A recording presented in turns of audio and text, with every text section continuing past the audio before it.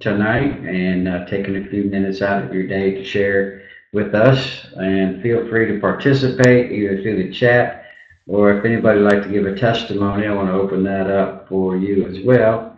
I can uh, open up your audio and video at any time. So uh, feel free to share. That's what this is all about. You know, we're moving into uh, no more one man show. So, you know, I always encourage people to participate. And uh, so uh, feel free to do so. So just kill a little time for people to get online here. Tonight we're going to talk about answering the accuser of the brethren, dealing with that in the courts of heaven uh, uh, as our plaintiff uh, against us, and we're the defendant in, in, the courtrooms of heaven. So we're going to talk about uh, scriptural basis for a lot of that uh, that happens for all the people that like to have a scriptural background. I am going to be writing a book on the scriptural uh, uh, uh, basis or background uh, or guidelines for operating in the courtrooms of heaven. I hope to have that out before too long. Uh, with all the stuff that's going on, travel ministry, the webinars, it's a little bit difficult to find time to do that, but but making plans to do that, and the grace is there to do it. So so I need to jump in and do that. So you guys pray for me. We'll get that done, get it out. It's going to be a small book. It's not going to cost very much, but uh, you know, I just want to get uh, get that out there for people to see how much Scripture uh, or how much the courtrooms of heaven are referenced actually in the Scripture. And so when when I began to read Scriptures and and uh, with a thought of courtrooms heaven uh, in mind, I began to see all these scriptures that were speaking legal language. That were speaking about the courtrooms of heaven. Doesn't it actually say courtrooms of heaven in the Word? But you can see if you've read and studied yourself that you'll find tons of languages or, or scriptures referencing uh, courts uh, language. So, uh, uh answering the accuser of the brethren, we'll just jump right in for you. Uh, uh, there's a couple of scriptures in the Old and New Testament that I want to share with you that says basically the same thing about Satan. In Job 1 uh, 7, it says, And the Lord said to Satan, From where did you come? So Satan answered the Lord and said, From going to and fro on the earth and from walking back and forth on it. So he's he's looking for evidence to be used in the courtrooms of heaven. But it goes just a little bit farther in 1 Peter 5 8 and the word says, Be sober, be, be vigilant, because your adversary, the devil, walks about like a roaring lion, seeking whom he may devour. And so, if he can't devour you on the spot, he's going to find every legal uh, right that he has, either in your life through sin or the bloodline iniquities, uh, sins of your forefathers. And so, uh, it even gets a little more serious in the in the New Testament, and so uh, uh, we have to be diligent and uh, and be sober uh, to recognize uh, the assignments of the enemy. What he's really doing is he's seeking evidence to use in the courtrooms of heaven against us. You know, and Robert Henderson says in his books, or or in legal uh, attorneys I've talked to, the the uh, courts can only use evidence uh, that is presented to them, and so you know, um, not only on the plaintiff sides, he's he's got uh, uh, generation upon generation of generation of legal legal rights that he has to use against you in the courtrooms of heaven. But our our legal team has has uh, has a lot of testimonies that that they use on their behalf. We'll get into more of the our legal team uh, and who that is and what we're talking about there. But uh, it even goes on to say in Luke 22, 31 through 32, and the Lord said, Simon, Simon, indeed Peter uh, has desired you that he may sift you as wheat. But I have prayed for you that your faith should not fail. And when you have returned to me, strengthen, uh, strengthen your brethren. Uh, Robert Henderson said in his video with, with uh, Sid Roth, he said, that word desired, Simon, Simon, indeed Satan has desired you, means demanded for trial. The root of that word, demanded, means or, or desired means demanded you for trial. So when I saw that, I meant, oh my gosh, you know, that's pretty, pretty uh, uh, severe uh, things that are going on there. And what happened was Peter didn't show up in court that day, so he was allowed to to uh, sift him like wheat. And we all know what happened. He totally denied uh, Christ. And so, uh, but it goes on to say in the word, in verse 32, but I pray for you that your faith should not fail. And so even though uh, Simon Peter didn't answer or didn't come into the court, uh, uh, the Lord prayed for him that his faith should not fail. And when he returned to him, uh, he would go on to fulfill destiny. He would strengthen his brother. And so uh, God has our best uh, uh, uh in mind. He has desired to be with us to fulfill our destiny. But the legal rights that Satan has gained against us are there that we need to deal with it. So we're learning how to do that in the courtroom of heaven. I think this is a significant day for this because it's a national day of prayer. And I put a post on Facebook a little while ago that said, uh, when the church gets the, in general, gets the revelation of the power and the authority we have in the courtrooms of heaven, uh, think how powerful it would be when we come on a national day of operating in the courtrooms of heaven. That we know how to remove every legal right. Now, prayer is good, but but we're not dealing with the, the legal rights Satan has gained through our, uh, the sins of the nation, the sins of uh, the people of this uh, nation, sins of the world. And so, how powerful would it be when we come into the revelation of, of operating in the courtrooms of heaven that we can have a national day of prayer that would, would uh, come up to a higher and more effective way of operating, that we can see uh, a, a, whole nation or a whole world come into the revelation and operating in the courtrooms of heaven, and think what would happen if, if that uh, came to pass. You know, I know, you know, we can pray for that and legislate that on the earth.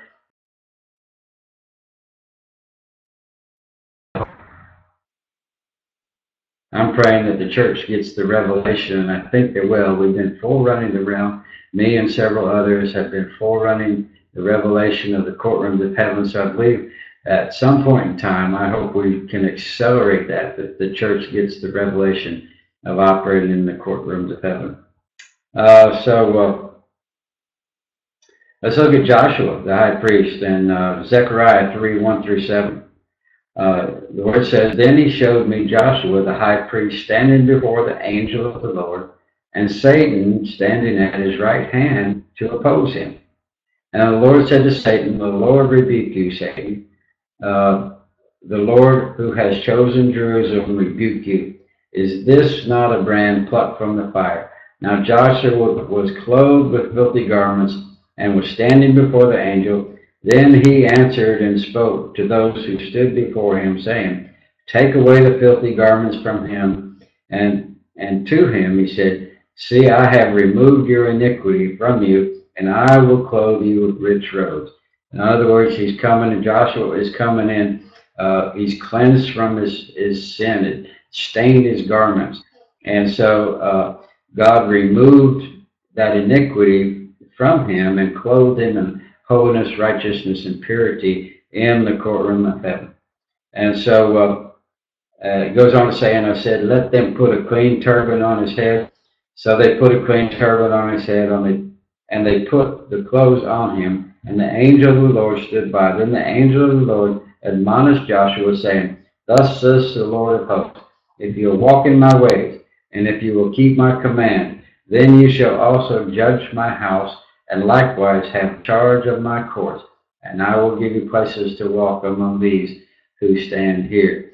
I always wondered about that last part. It says, I will give you places to walk among these who stand here. I think that gives us such a level of authority uh, on the earth that we're we're seated in in in, in uh, as a legislative being uh, in Christ Jesus at the right hand of the Father, and we can legislate from heaven to earth instead of pleading and begging uh, with God from the earth. Uh, we're, we're seated there. We're given places to walk among these who stand here because uh, we, we've come to the place of righteousness, holiness, and purity in our walk with the Lord. And so, uh, pretty amazing to me uh, that if we will walk in His ways and uh, and if you will keep His command, then we'll also judge His house and likewise have charge of my course. Well, His house is us. We are the temple of God, so we are His house. Not only His house, but but His church. We'll also judge the nations uh, uh, as well, and likewise have charge in my courts, capital M, in my courts. So we move uh, to a place of authority, uh, uh, legislation in the various courts of heaven. Some of you may have had experiences in the higher courts of heaven. Uh, so far, we're dealing with just a mobile court that deals with our own uh, personal lives, our families, and the ones we love. So, uh, you know, we also deal with our businesses, our ministries there. And so, but we, as we gain authority and experience in the courtrooms of heaven, we were able to uh, have charge of His courts, greater greater courts for different purposes.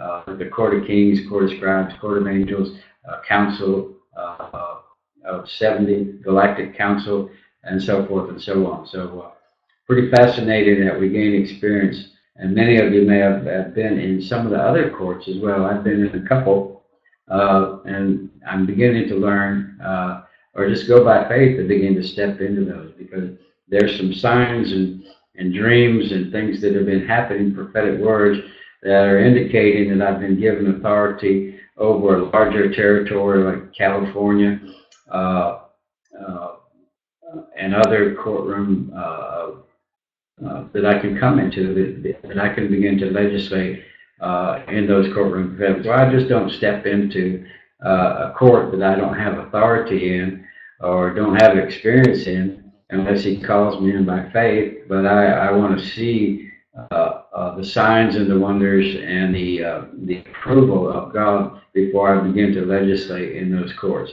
So I think that makes sense. I'm not just going to step in foolishly and, uh, and suffer some consequences that may not be good.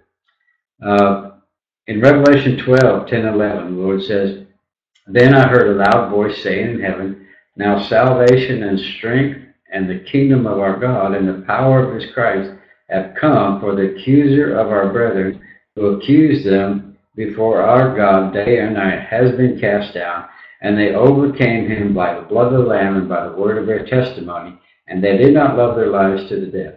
So, in one sense, that says the accuser of the brethren was in heaven, but he's been cast down. So where does he where does he where does he operate in accusing the brethren now?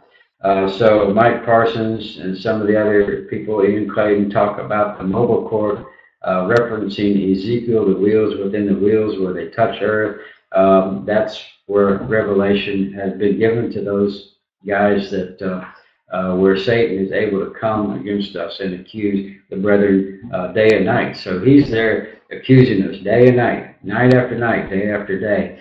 And so uh, if he has legal right to use against us, he's going to do everything he can to steal, kill, and destroy uh, as until we come to the place where we, we come before uh, uh, the throne boldly and we begin to legislate and remove every legal right that Satan has had against us.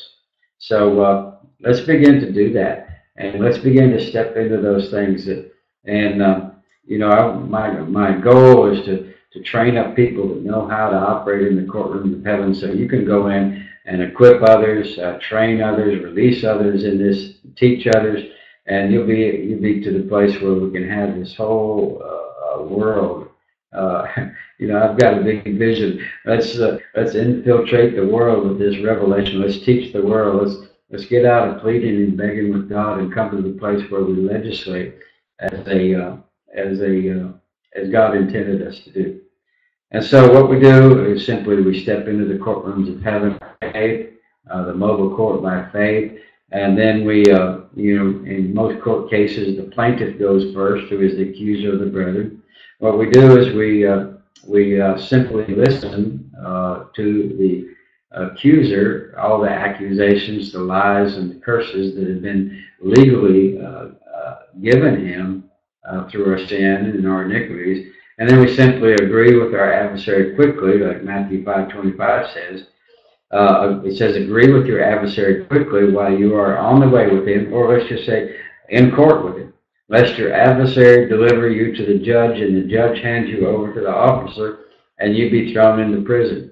And just uh, as I'm reading this, how many of us are, are literally in prison and we don't even know it?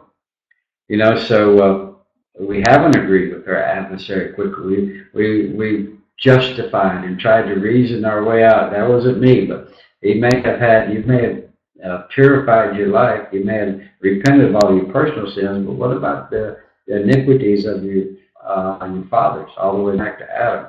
So agree with your adversary quickly while you're in court, lest your adversary deliver you to the judge, and the judge hand you over to the officer, and you be thrown into prison.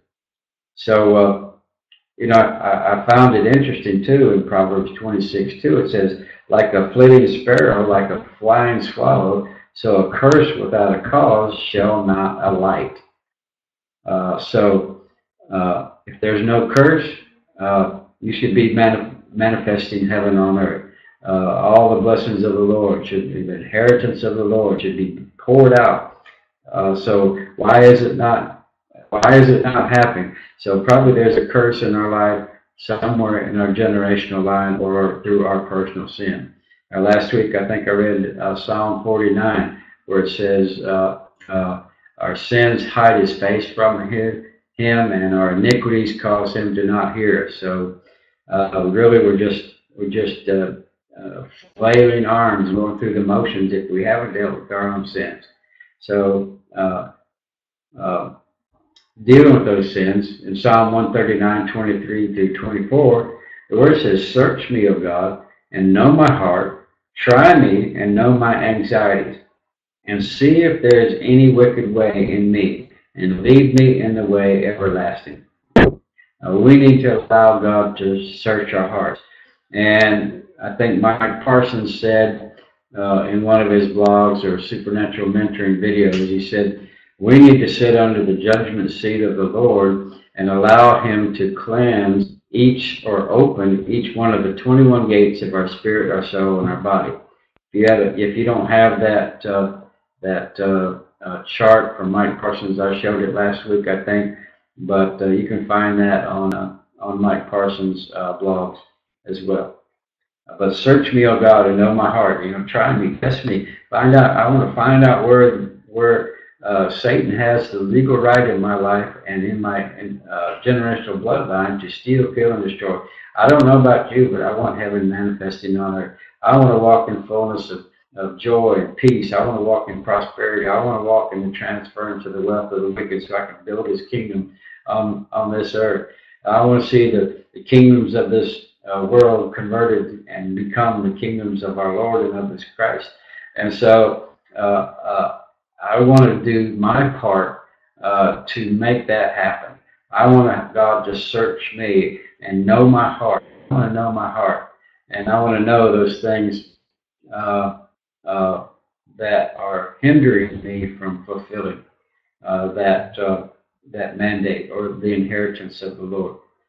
Uh, Isaiah 59, here it is what I was, I was talking about. Isaiah 59 1 through 2 says, Surely the arm of the Lord is not too short to save, nor his ear too dull to hear, meaning he wants to save us, he wants to bless us, he, he wants to hear our prayers, but your iniquities or your generational bloodline sins have separated you from your God, and your sins have hidden his face from you so that he will not hear.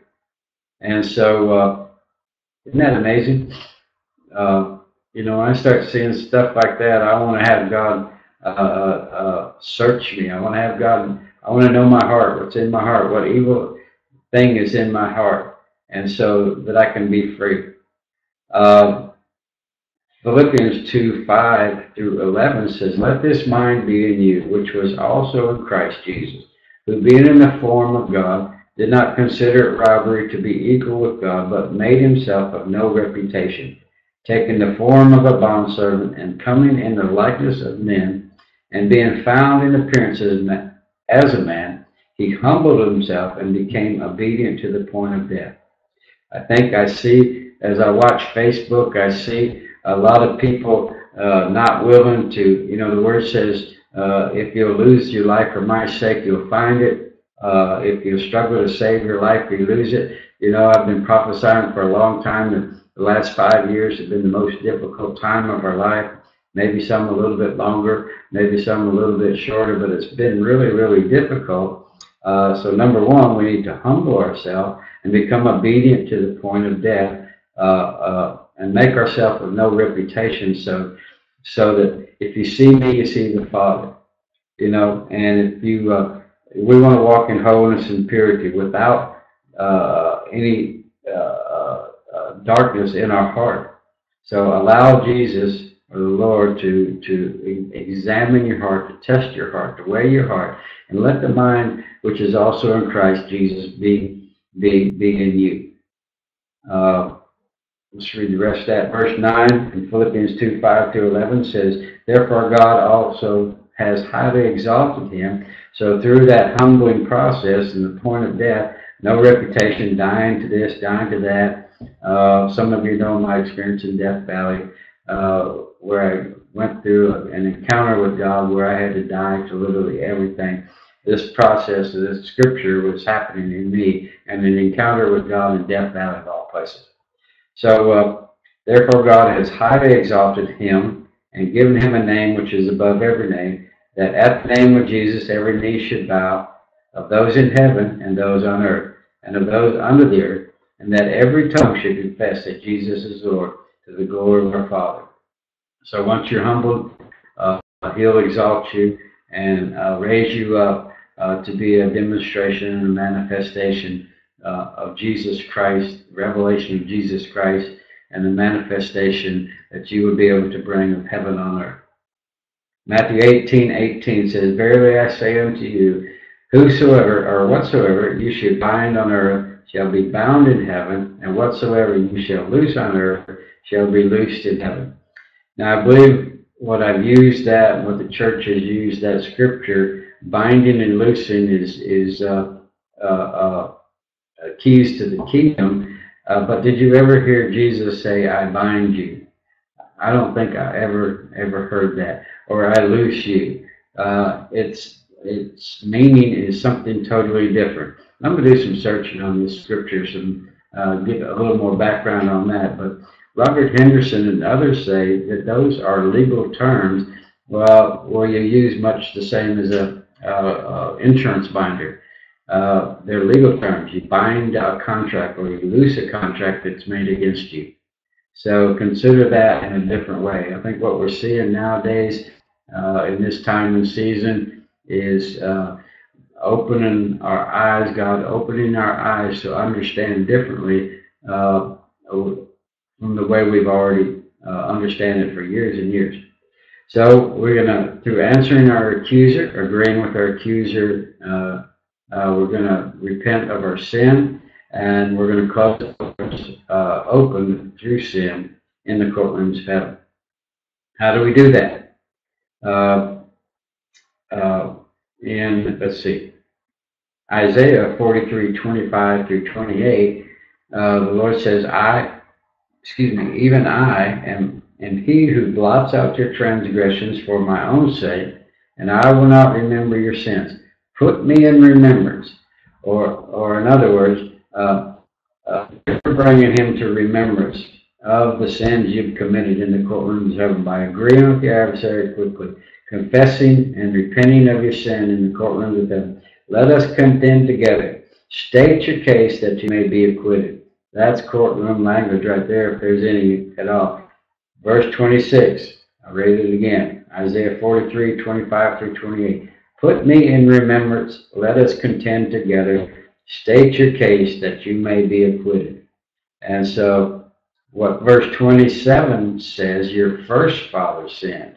Now, who is your first father? Uh, it's probably Adam.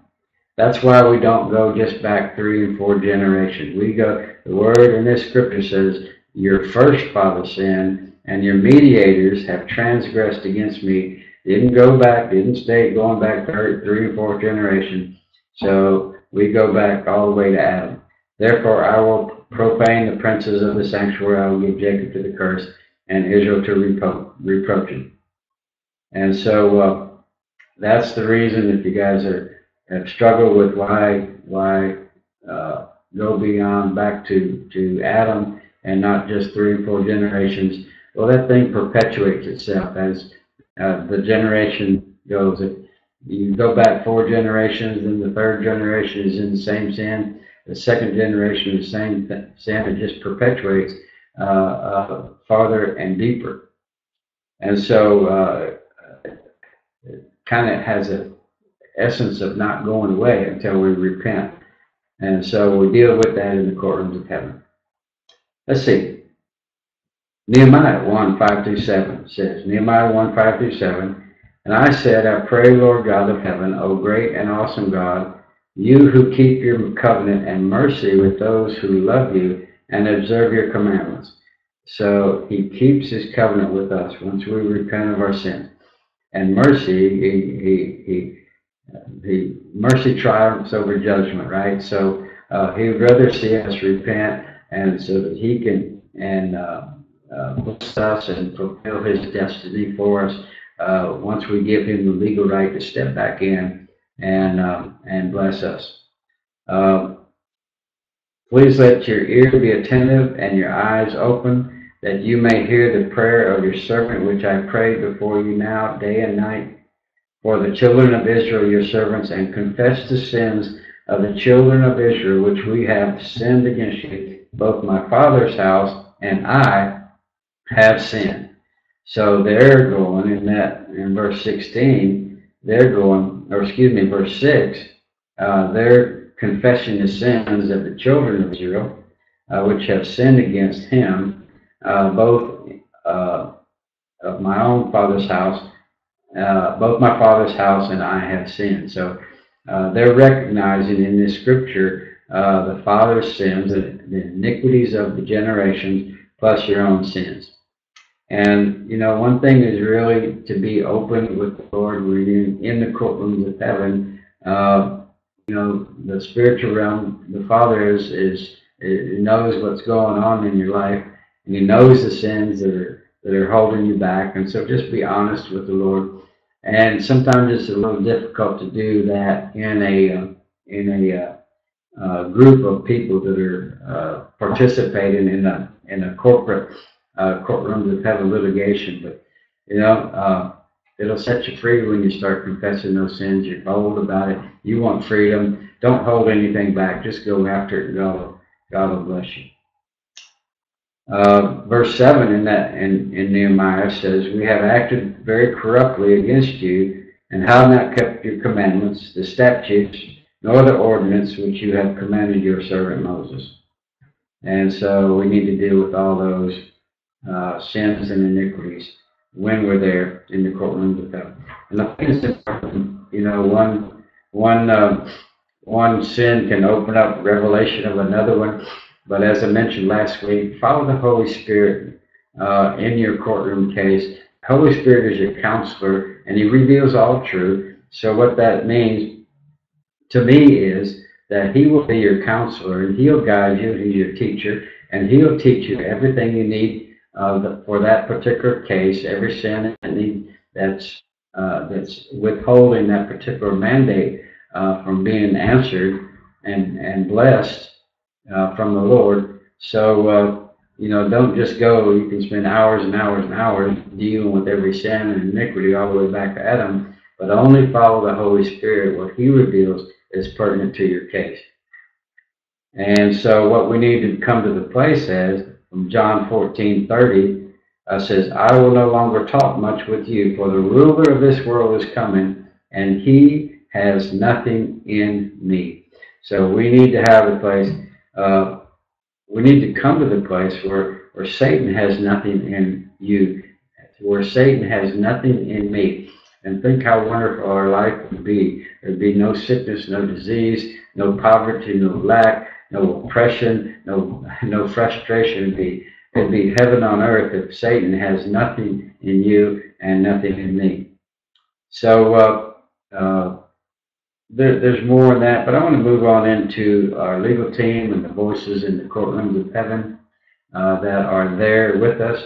I also consider these these uh, uh, uh people and entities, I guess you would call them, uh, as part of our ministry team as well. When when I minister, uh, since I've had revelation of this scripture, Hebrews 12, 22 through 24, I engage all these uh, voices uh, when I minister. And I'll show you why in a minute.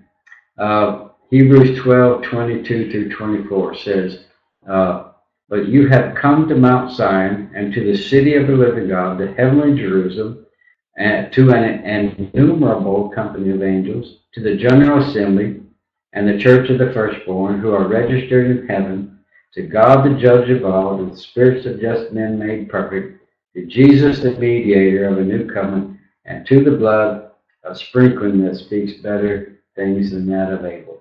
Now I've added a few more uh, through revelation of the Lord to include the seven spirits of God, to include the Holy Spirit in that, and we'll share all of that. But our job is to understand and agree uh, and come into unity with our uh, the voices in the course or our legal team that who are testifying on our behalf so that we'll we'll uh, uh, gain the answers and God will render the verdicts that we've been seeking uh, on our behalf uh, for what we mandated to go in the courts for.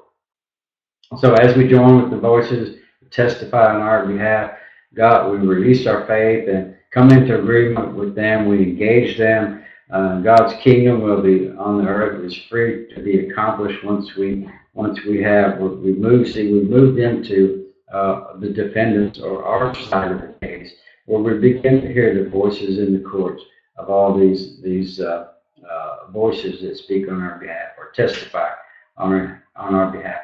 Robert Henderson says here that any lack of kingdom being manifest is because of a legal issue.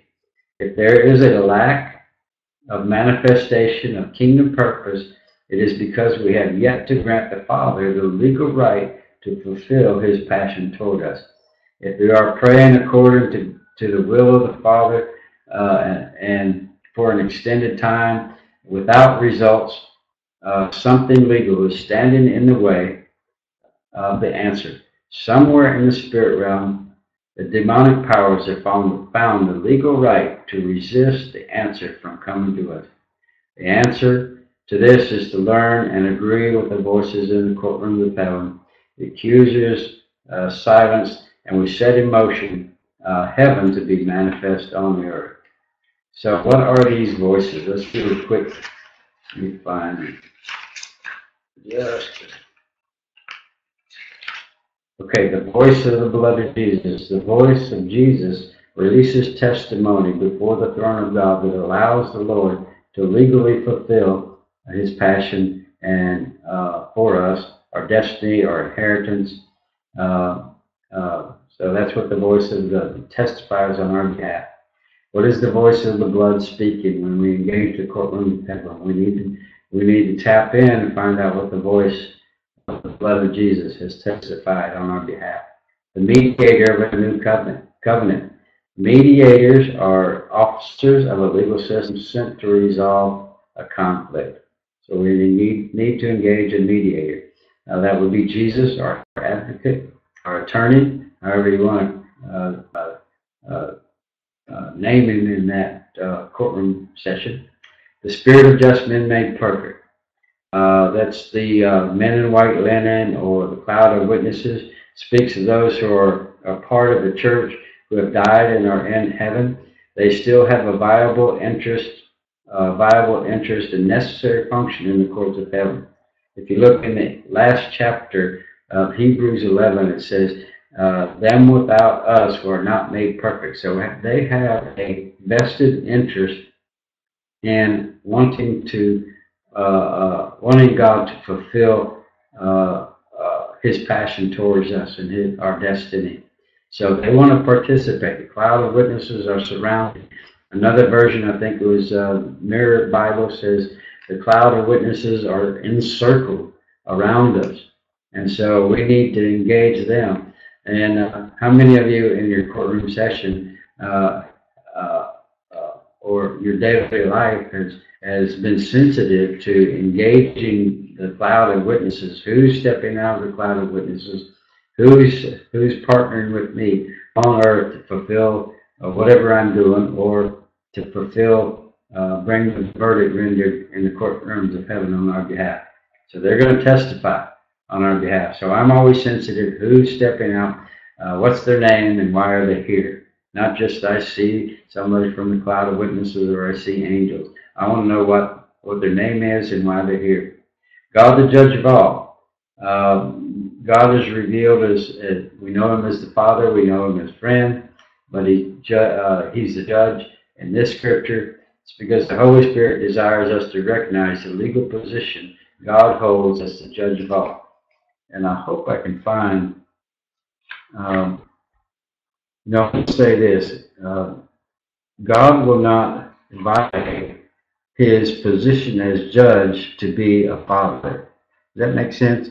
God will not violate His position as father, a judge to be a father. So if there's a legal right that He says in His Word uh, uh, that is has come against us, has a legal right against us, He'll not violate uh, his his right to be a father until we remove that uh, legal right that has been grant, gained against us.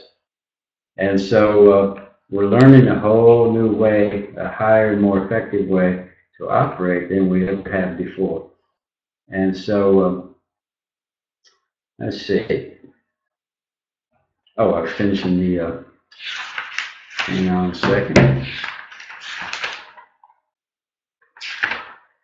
So, uh, the church of the firstborn, registered in heaven. Uh, I like that word there. What I, what uh, Lord revealed to me, registered in heaven. Some of the word, uh, other ver- versions of the word have different words though, there. But registered in heaven is to, to me one a, a church that has been registered to conduct legal activity.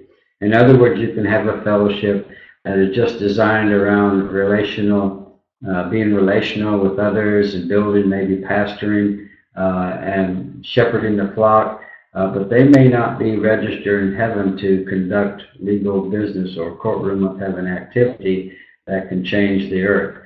So everything I do, I want to be focused around.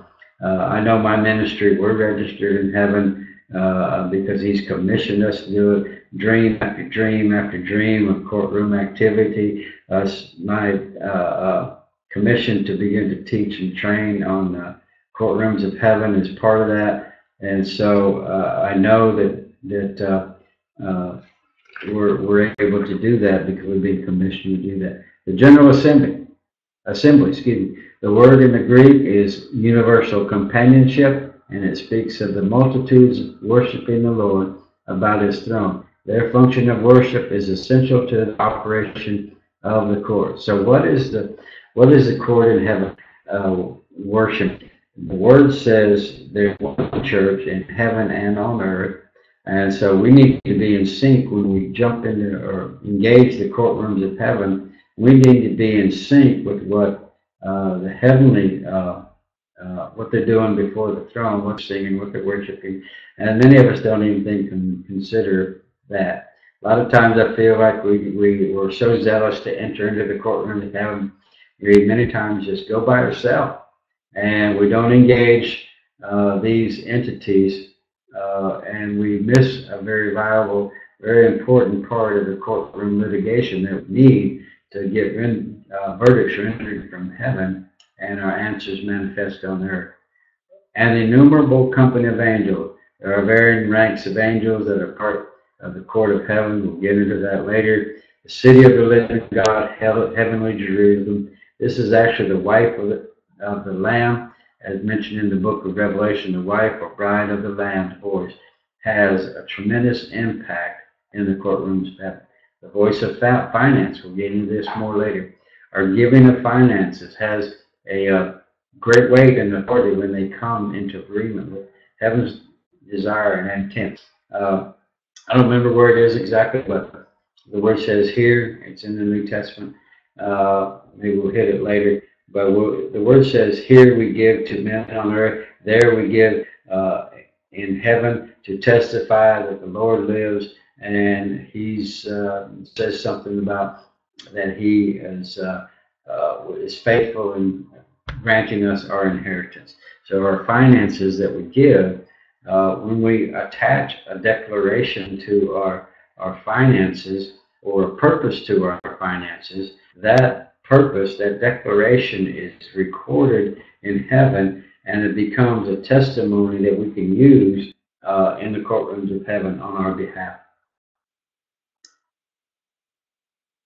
When we learn, when we learn how to come into agreement with these voices, verdicts are rendered from the courts uh, as God's will is done in the earth. There's nothing that can be accomplished when we get legal things in place. That's what we're doing in the courts. Once the legal issues are resolved and the devil's rights revoked, God is free to functionally take back the planet through his church. So we want to become the church that's not pleading and begging with God. We want to be the church that is registered in heaven, that we begin to fill uh, the earth uh, with heaven and uh, and uh, release the legal hold that Satan has had against us all these years. And let's move on to Isaiah 2, 1 through 4 is uh, the word that Isaiah, the son of Amos, saw uh, concerning Judah and Jerusalem. Now it shall come to pass in the latter day that the mountain of the Lord's house shall be established on top of the mountains. To me, that's talking about uh, Mount Zion, what we spoke of earlier. Uh, the mountain of the Lord's house, or place of authority where we operate from, is established on top of the mountains, on top of, of the seven mountains that they are speaking about of society. So when we operate out of the Lord's house or out of the Lord's courtrooms of heaven, we have authority or, or uh, let me just back up just a minute. We may have been given uh, jurisdictional authority over the seven mountains of society. So we have to know our spirit, sphere of authority, our metron, and which mountain we're operating in, that we have uh, been given uh, spiritual authority or jurisdictional authority to operate in.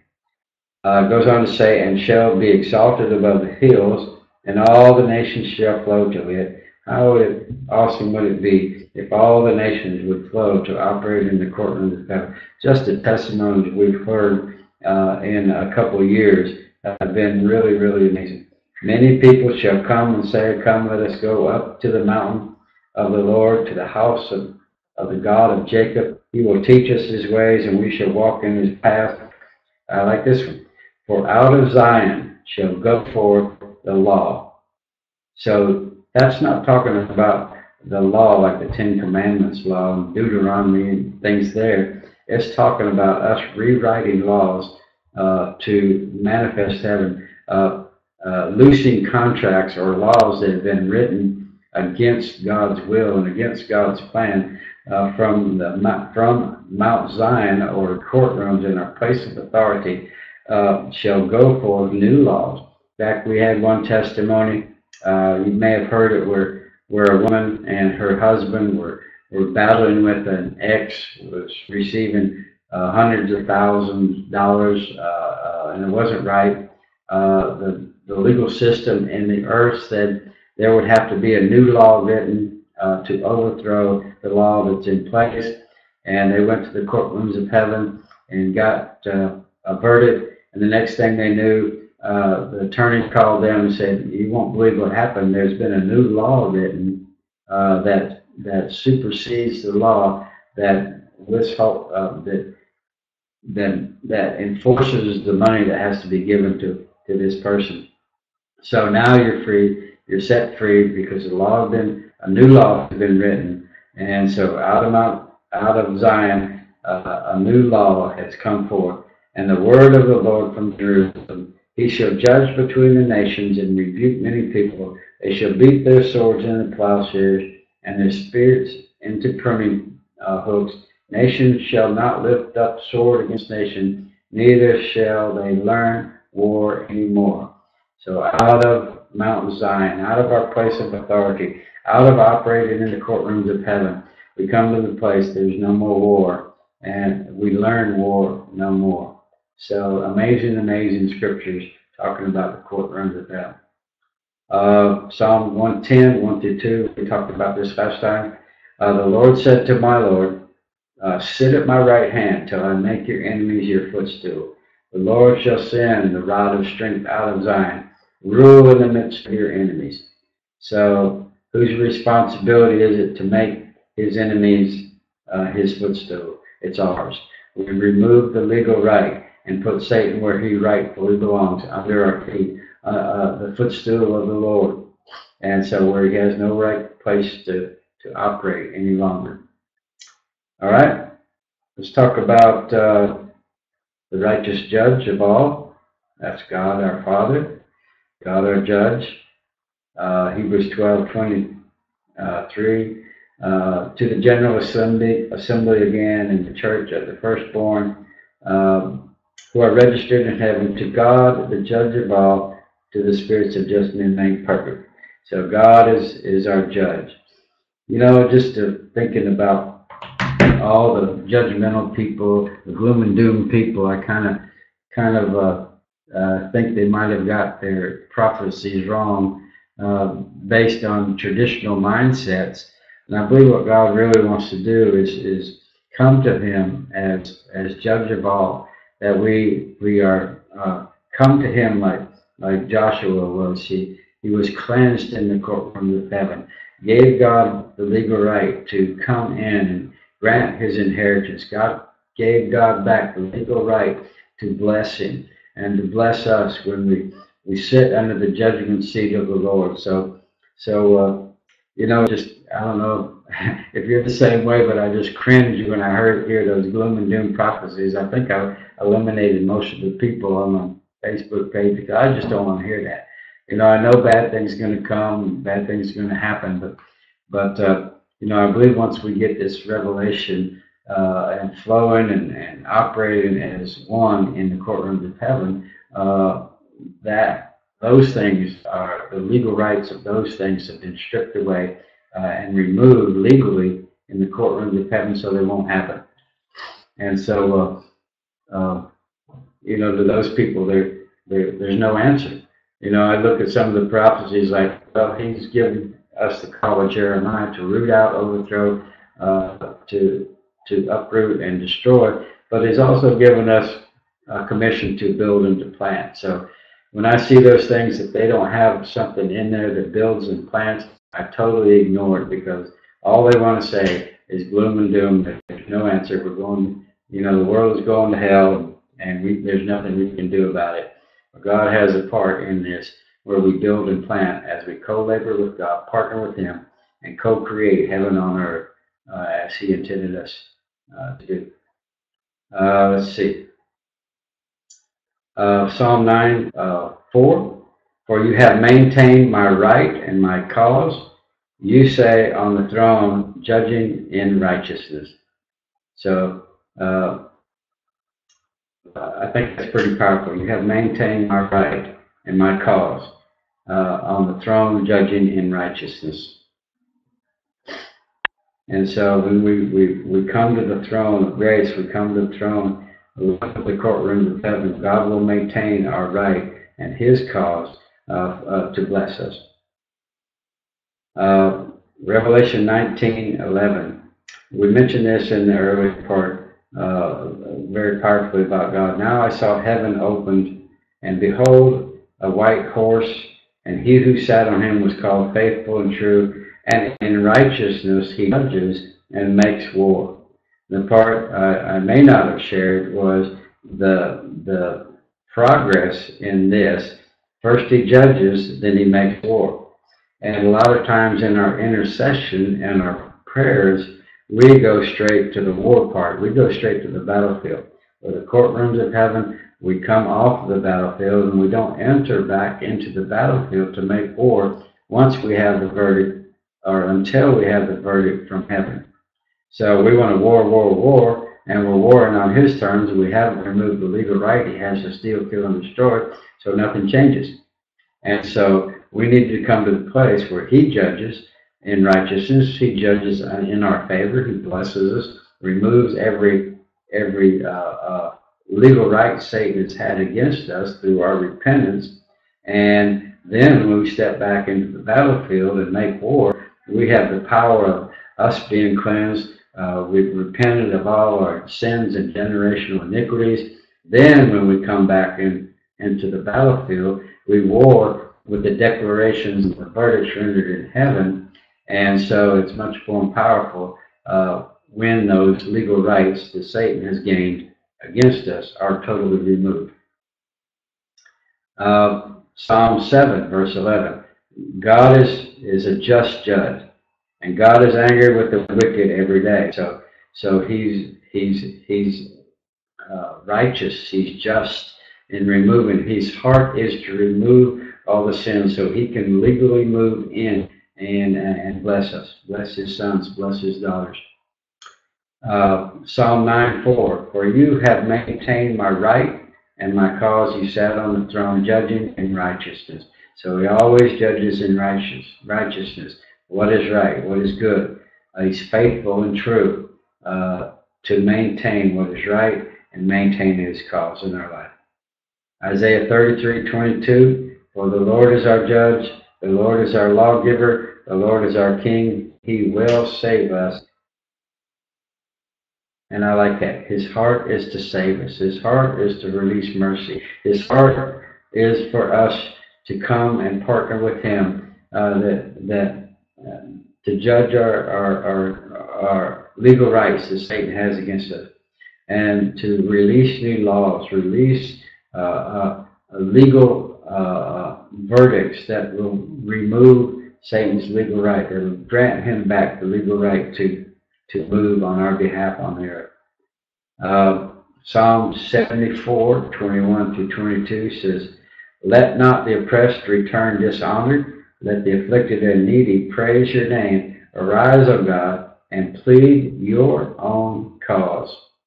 So the Lord that and plead your own cause. Why is calculated, uh, capitalized in uh, in that verse. So he will plead his cause, his own cause or case against uh, for us. So, pretty awesome things that the Lord God Almighty does on our behalf.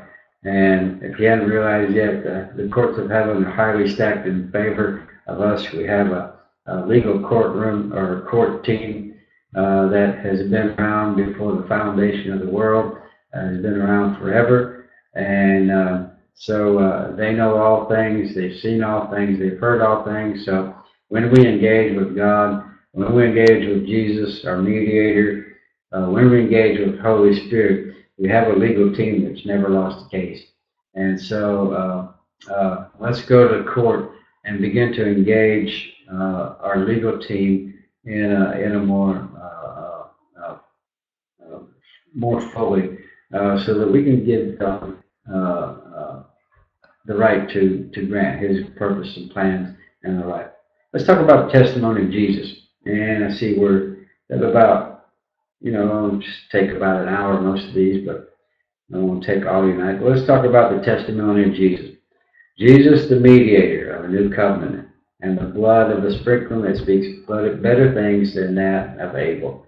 Jesus came, uh, uh, speaking of new and better ways, a new covenant that he brought. So when we engage him in the, in the courtroom of heaven, he's going to release the new covenant blessings and promises in our life. He's going to write new laws. He's going to mediate and be our attorney, attorney to, to overthrow the plans of the enemy. He's in control in the courtroom of heaven on our behalf. Uh, and, you know, we don't need to fear Jesus because he's on our behalf. He's our part of our legal team. And we need to fully engage, even if we're kind of a little timid about dealing with our own sins. God's going to reveal uh, those things to us through Jesus and the Holy Spirit. Uh, 1 Timothy 2 5 says, For there is one God and one mediator between God and men, the man Jesus Christ.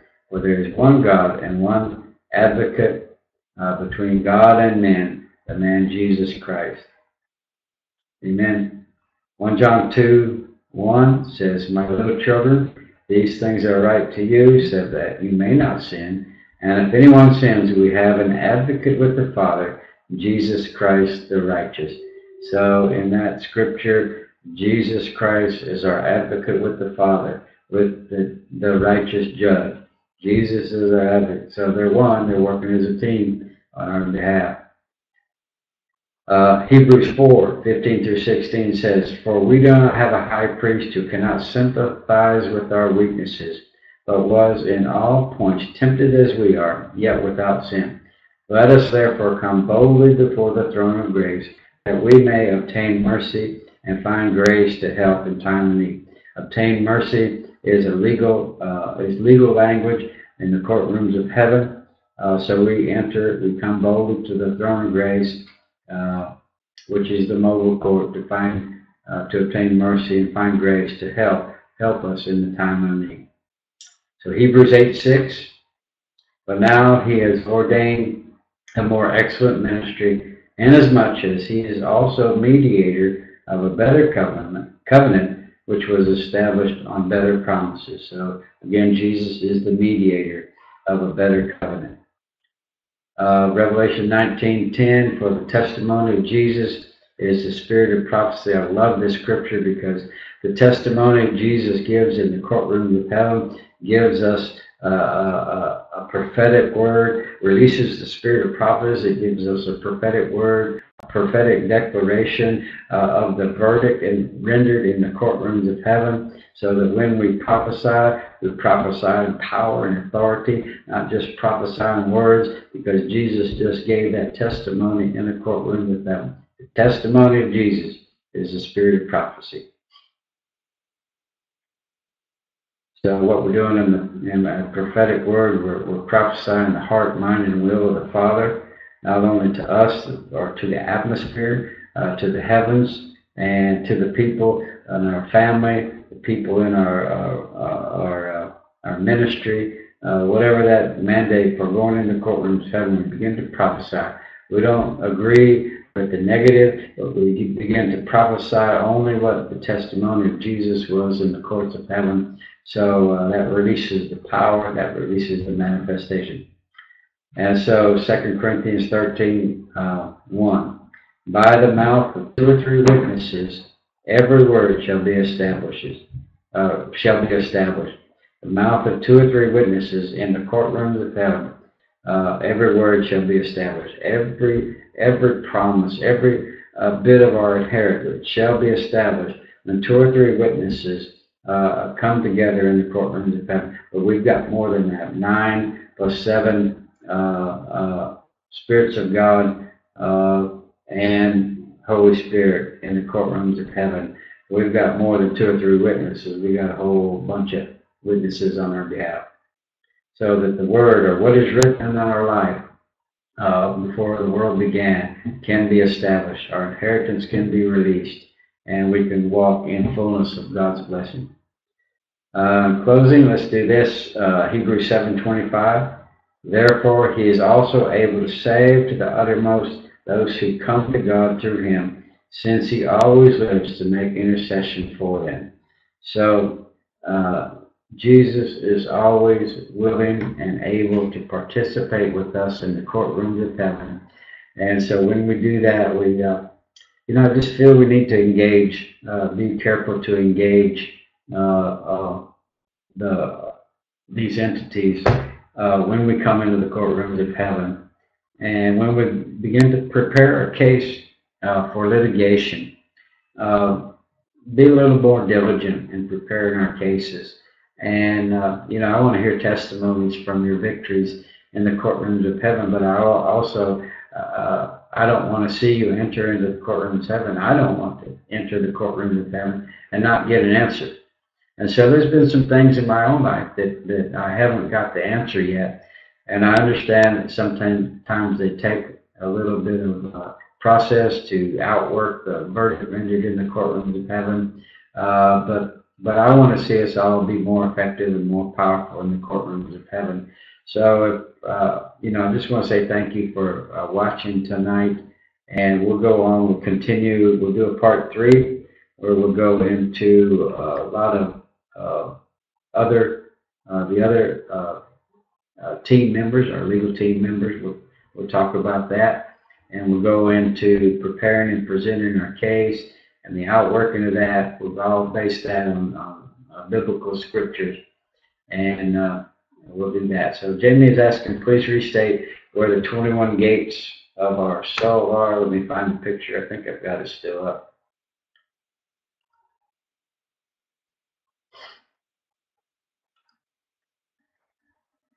So this this is actually from uh, Mike Parsons and Ian Clayton. You see, you got uh, let me center it a little better. Out of the uh, the yellow there, is the uh, Spirit, uh, the gate of first love uh, from the glory of God. Uh, you notice every every I've counted them. There's 21 gates here in our soul, our our our body, our soul, and our spirit, and uh, uh, you know so we need to begin to to instead of being affected from uh, the five senses realm, where a lot of most everything goes in this way, and we're affected, we make our decisions from there. You know, we need to begin to reverse that, and out of the out of the glory of God, out of the gate of first love, uh, everything is changed and reordered uh, out of that. So it affects our spiritual divine uh, uh, order is spirit, soul, body, not body, soul, spirit, or or soul, body, spirit. You know, a lot of times we said, well, my spirit resides in my belly or somewhere in my heart, or when we reduced it to something very, very small. For God's divine order is spirit, soul, body, where we, and all those get gates all those are gateways that we need to have cleansed that, well, you know, like this one, emotions, or our choices, or our free will. You know, all has to line up with, with God's will. Uh, imagination. You know, how about that one? The church said ignore your imagination or your conscience. You know, and we've shut that down or allowed some other demonic entity to to operate at one of those gates are reason, you know. And uh, so all those things can uh, need to be opened. All those gates need to be cleansed so that we can uh, operate as God in, intended us to operate. Uh, intuition, revelation, worship, faith, reverence. I had to deal with that one. And so uh, uh, you can get that from uh, Robert Henderson and uh, I think Ian Clayton. They both share that. And so there you go. That's the 21 gates. And so uh, just know that I love you. And, uh, you know, I hope to see some awesome, awesome testimonies. You guys winning cases in the courtrooms of heaven. Share them on Facebook. Share them with me. Uh, so we can share with others, encourage others. Testimonies are powerful, and so we want to do that as much as possible and help others along. And I just want to say, any of you guys that are uh, participating in the courtrooms of heaven, I'm getting so busy now that it's hard to answer a lot of the things. So jump in and help others. Uh, what you learned here and what you learned on your own. Uh, uh, it's just impossible for me to answer every every post and and that's why I don't a lot of times because uh, I want others to participate. This this isn't the Terry Spencer show. It's us helping others, helping train and equip others, releasing them into destiny, and helping them through their problem areas to get verdicts rendered in the courtroom of heaven. So thank you for helping on there, and thank you for joining us tonight. And we'll be back on Tuesday night with Ecclesia Online a lot of things shaping up and developing there, and uh, we'll share more with you what's going on with the ecclesia. And just a quick update there.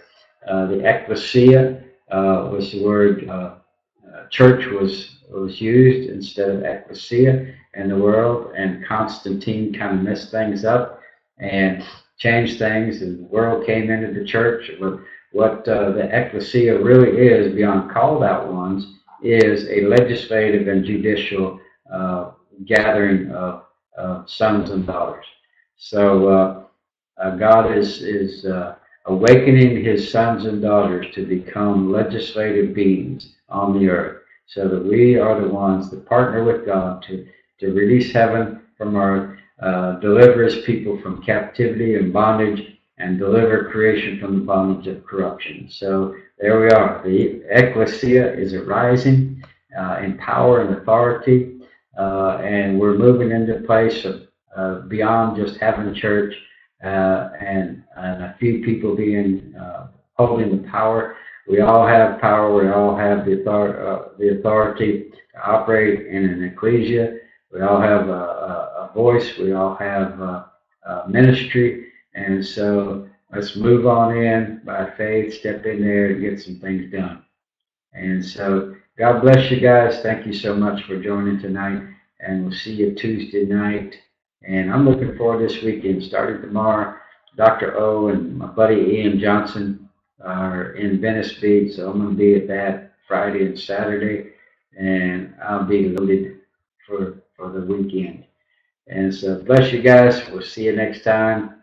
Thank you, thank you for joining, and uh, join us, join us, join us Tuesday night. God bless you guys. Good night.